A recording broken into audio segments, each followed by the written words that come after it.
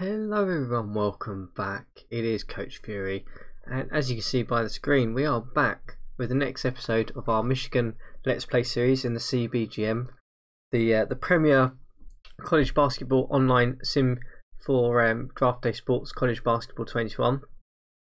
And while this is going to come to you guys probably a few days later than the actual schedule in the league, because we're going to be talking a little bit about my recruiting, my strategy, my offers, little bit of considerations on how we're going to pitch. We're obviously going to do that on the episode today. So because I'm doing that, I don't necessarily want that to go out live to everyone at this point in time because obviously hoping to get some recruits.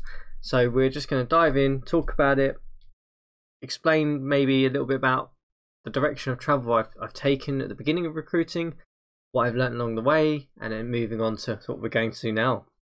So anyone who's, who's sat and watched the uh, the last episode, we'll, we'll, realise that I'm still learning an awful lot about this game, particular re- recruiting level, and I'm still definitely not there in terms of really being an expert in terms of how to recruit good players.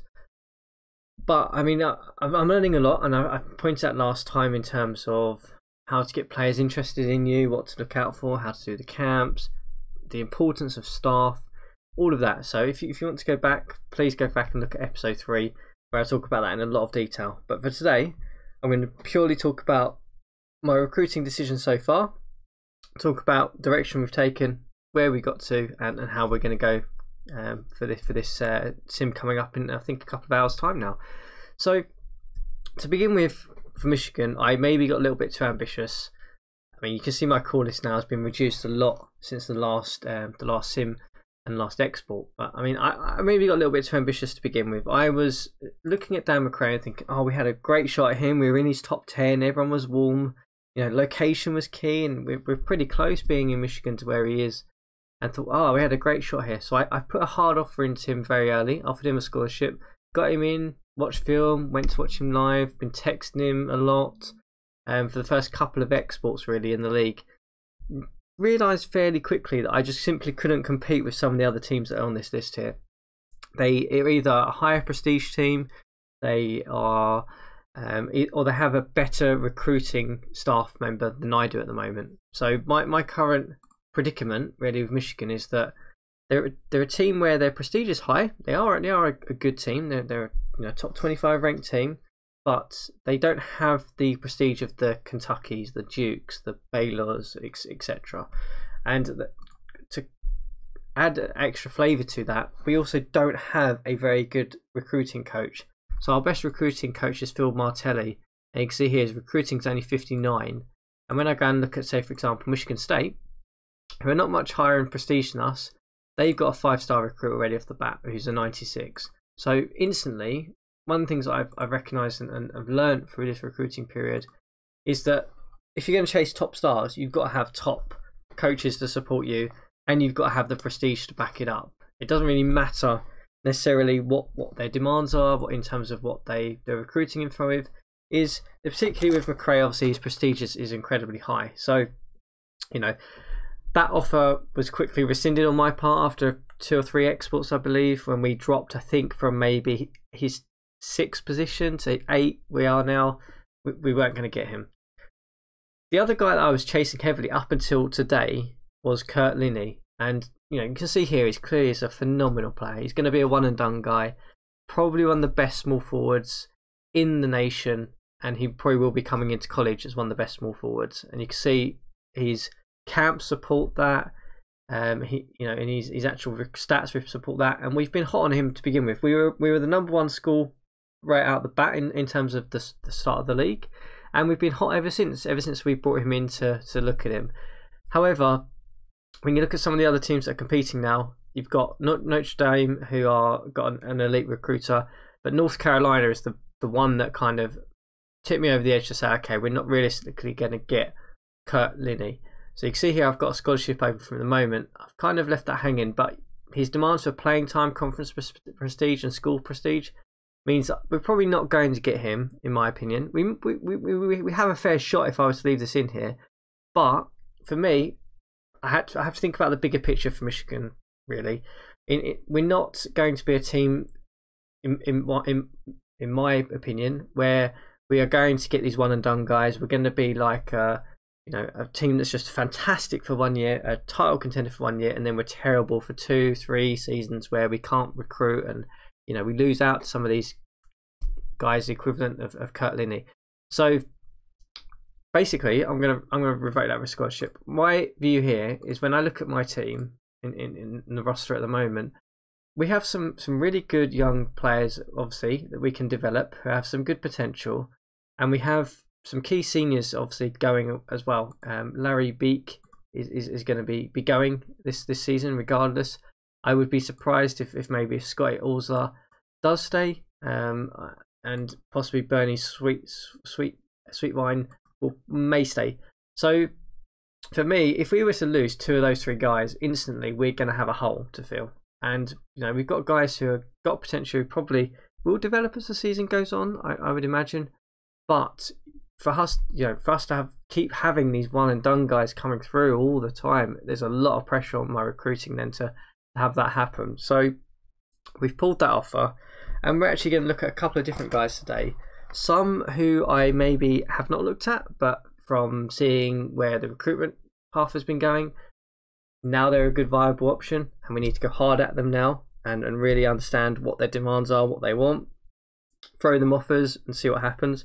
And there's a couple of guys that are backup guys that we might talk about today, we might not talk about today. But key thing is here, we are not going to be going after these these stars anymore because I don't think we're necessarily going to get someone like McRae and for, for and others' case, whilst we might have a fair shot at them, I, I just don't really want to build my team around that. I need guys who are going to be here four years or so and build my team. And then once I've got to that point, I can then start chasing some of these five star guys. For Michigan, we need to build a consistently performing franchise, uh, consistently performing program to get that prestige up, to get us competing against some of the best teams in our Big Ten conference, and go from there. So, first guy that we are going to be heavily going after is this man here, Peter Graves. We had him in for uh, uh, recruiting. He looks phenomenal. He's basically a top 10 player at Chicago, which is great. It's good, good if he's performing at some of these camps. We are. He, he looks really good. He's got good defense, good shooting. He's pretty much good at everything across the board that you'd want from a big man, and he's got the height and everything. And as you could probably see from earlier, we, we do have a bit of a gap at sort of the forward positions uh, for next season. Really, we we do need to fill in someone, and you know, assuming Singletary and um, and Johnson don't necessarily develop and, and obviously Keith Daniel going, we we do need to try and bring someone in there. So we're gonna we're going to basically go go after him. He, he looks like the best prospect we can probably realistically try and poach.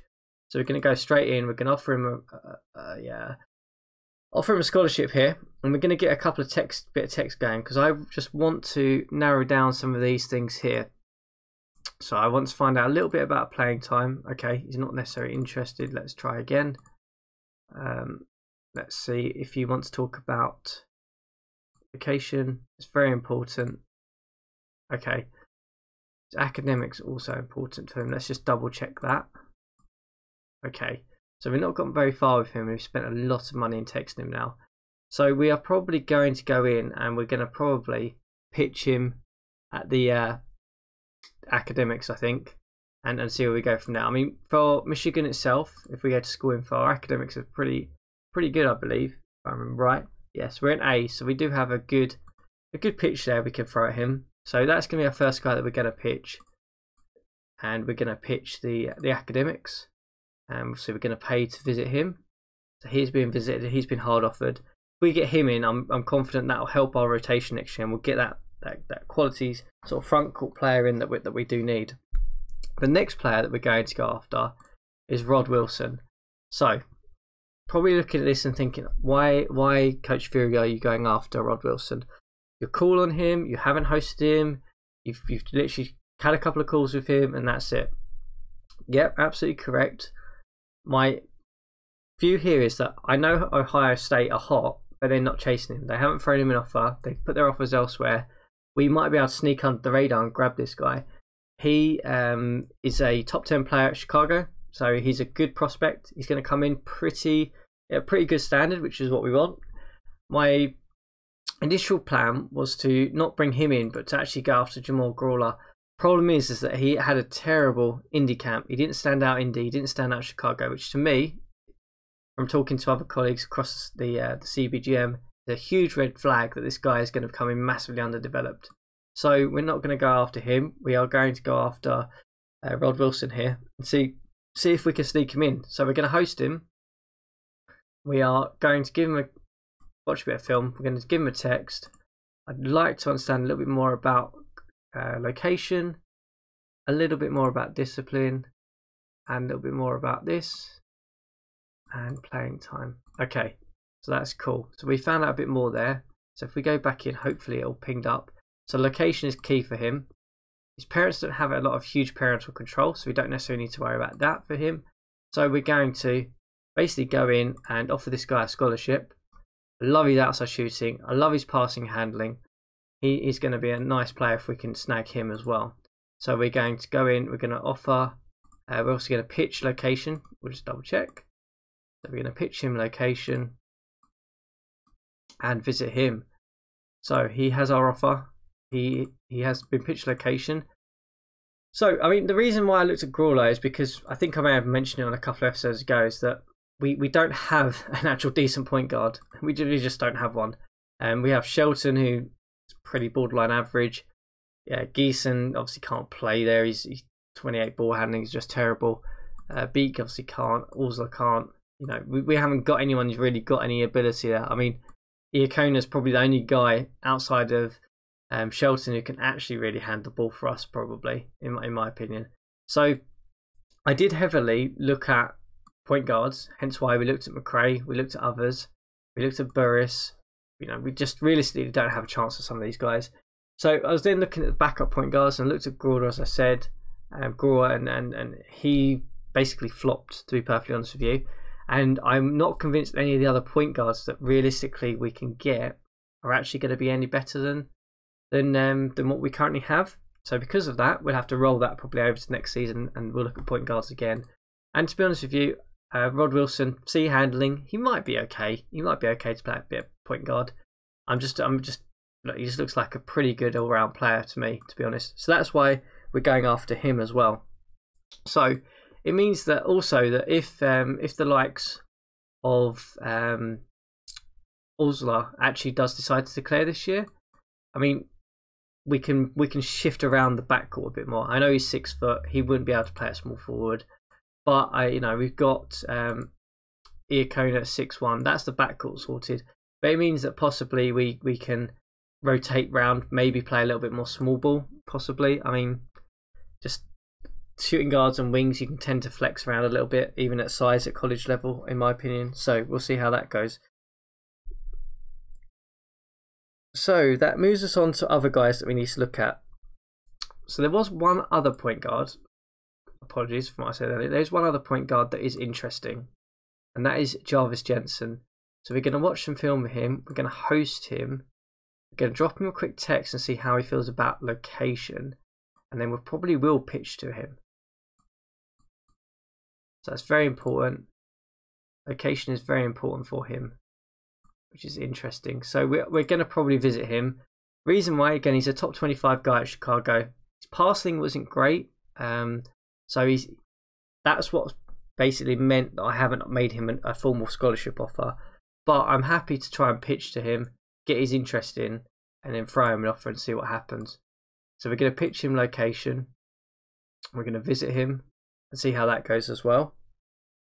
And then that leaves us with one other visit that we've got to line up. And my final visit really is, is going to go to a guy, well, uh, between two guys we're debating, I'm debating to be honest with you, and we'll just talk through them. One is Colin Brown, who we are number one on. He is um, a top 25 guy at, at Chicago. He's got obviously a lot of interest. His location is pretty key. Um, he's pretty interesting actually.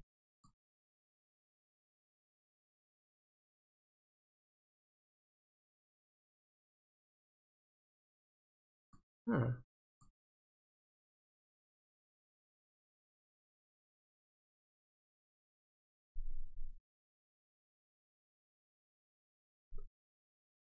Hmm, I'm just debating whether we go for Rod Wilson or whether we go for Colin Brown.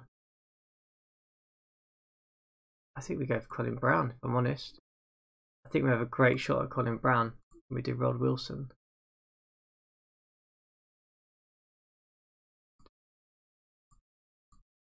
Colin Brown looks like he's a better player. He's a bit bigger actually.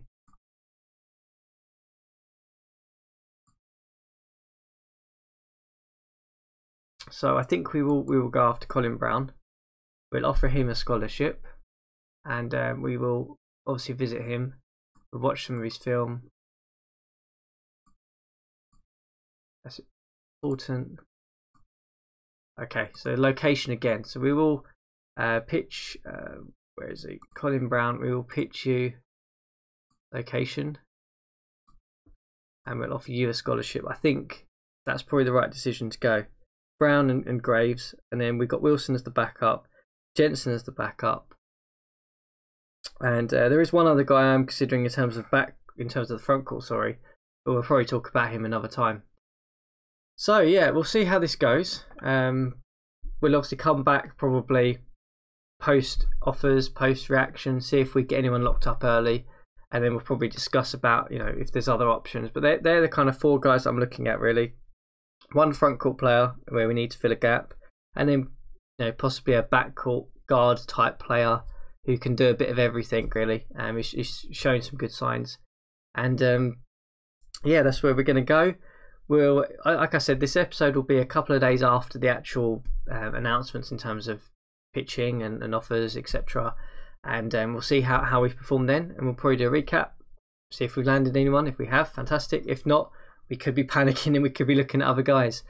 But uh, that's that's how, state of play for Michigan. We're going to try and build this program through some solid players um, who are four-year guys, hopefully, and then we'll start chasing some of these five guys, five-star guys, as and when we start to build up the program, start to build on a strategy of of, uh, of some solid, solid, you know, eight-man rotation, and then that five-star player will just be that little icing on the top, hopefully, to take us to a, a contender level from hopefully being a very good performer um, in in the uh, in the conference itself. So yeah, I hope you're enjoying the episodes and hope you're enjoying following along with Michigan and just getting a little bit of insight into some of the, the thoughts as to what we've been doing for recruiting.